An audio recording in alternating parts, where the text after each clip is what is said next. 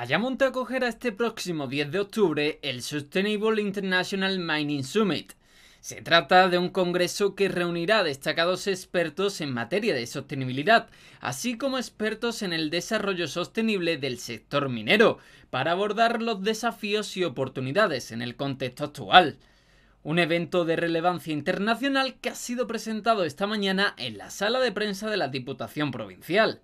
Creo que va a ser el foco eh, de atención durante esos días y desde Ayamonte estamos tremendamente satisfechos. Por lo que va a suponer para la provincia de Huelva eh, una vez más y gracias a la Junta de Andalucía se pone el foco de nuevo en la minería, en otro proyecto de minería eh, en nuestra comunidad autónoma. Lo que intentamos era cambiar un poco también el esquema, no ser endogámico y hablar de minería desde la minería, sino traer expertos de fuera de la minería para ver qué entendemos por minería sostenible.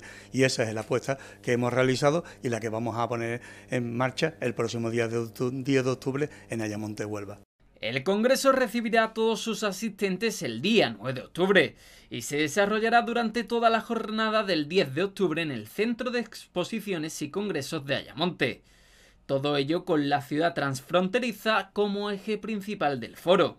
Es bastante eh, relevante en el sentido de que intentamos explicar realmente, o vamos a intentar con los ponentes que vienen explicar de qué se trata realmente la sostenibilidad cuando hablamos de de una minería metálica. Huelva tiene el 90% de la minería metálica española, está en Huelva. Ahora mismo eh, Andalucía a nivel eh, regional no tiene extracción de minería metálica, solamente las que existen en Huelva provincia.